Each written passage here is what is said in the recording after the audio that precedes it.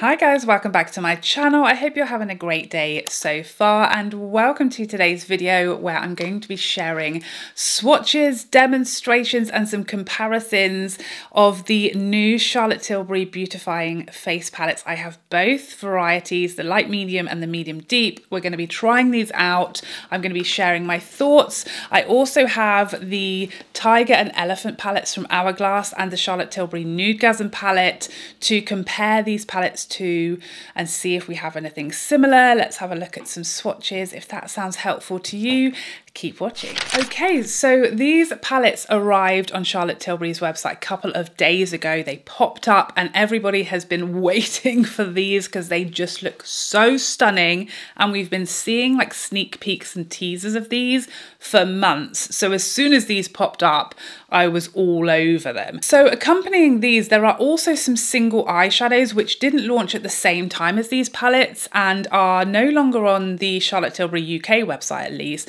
They have have popped up on Beautylish but are selling out quite quickly and they are kind of popping up randomly on other websites as well. So there is more to this collection. There are some single eyeshadows.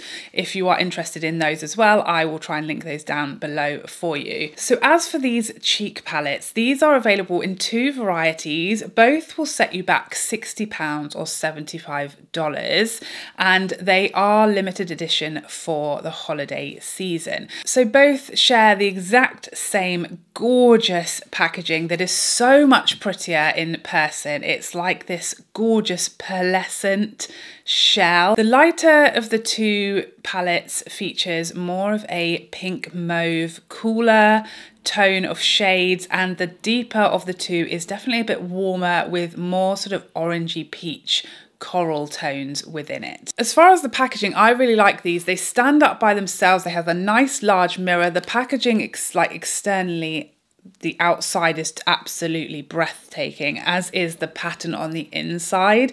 And I really like how these feel. They're very nice for travel. These are one of Charlotte Tilbury's like best products. I always love her face palettes. I always find them very well put together and thought out. Okay, so let's have a look at some comparison swatches. Okay, so first up swatching the light medium palette and this is on unprimed arm, like bare arm and just a generous sort of finger swatch swelled in the product. And next to that, swatching the medium deep palette. Immediately you can see this is the deeper of the two, particularly that second highlight and the second blush. Definitely richer, definitely warmer than the light medium. Next to that, I'm going to swatch just the blush and the highlight from the Nudegasm palette. See how this compares. Not similar actually really to anything blush wise. This is probably the closest, but definitely more orange than anything in here and the highlight probably a bit more golden as well. And next I'm going to swatch the Hourglass Tiger palette next to those, just the blushes and the highlight. I have wiped the Nudegasm palette away because we're just not going to have that space. I don't think many of the shades in here are really that similar. It's a different kind of colour story, the Tiger palette, but it's kind of showing that one is definitely warmer and I say a little bit richer overall than the, the deeper of the two Charlotte Tilbury palettes. Next I'm going to swatch the Elephant palette from Hourglass Blushes.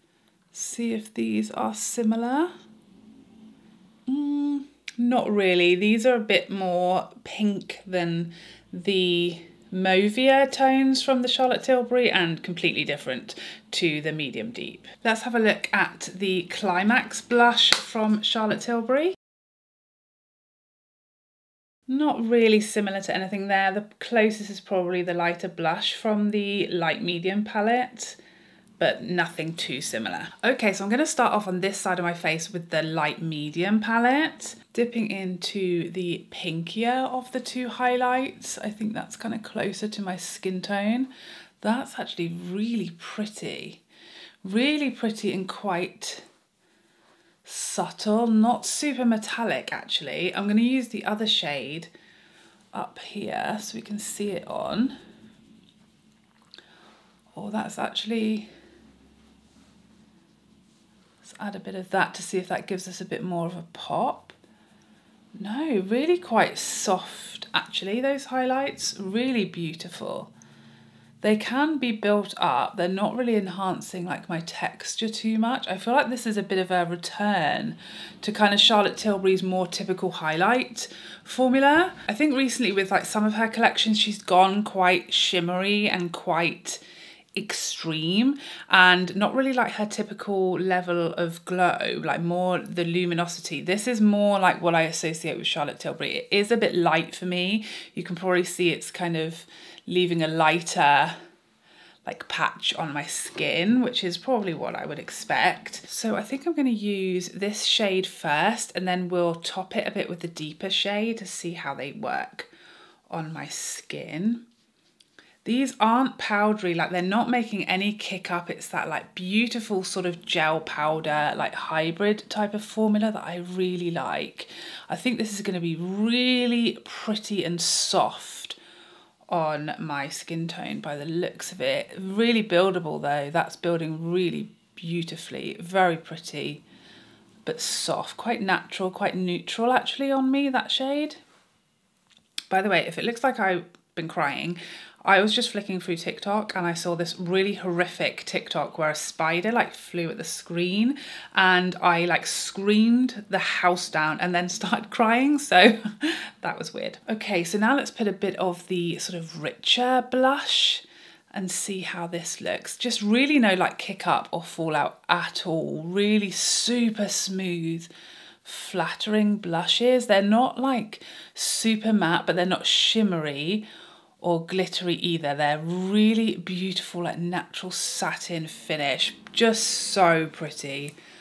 Wow, I think that looks gorgeous. And I'm really happy that the highlight has kind of made a return to like Charlotte Tilbury's typical skin-like, beautiful, lit from within, natural luminosity, because that's what I love from a highlight. So I really like that palette actually. I'm excited now to try this one because I feel like this one's just much more up my street and I think the highlights will work better for me in this palette. I think this one will be too deep, but it will make like a nice blush topper. I think this one will be perfect.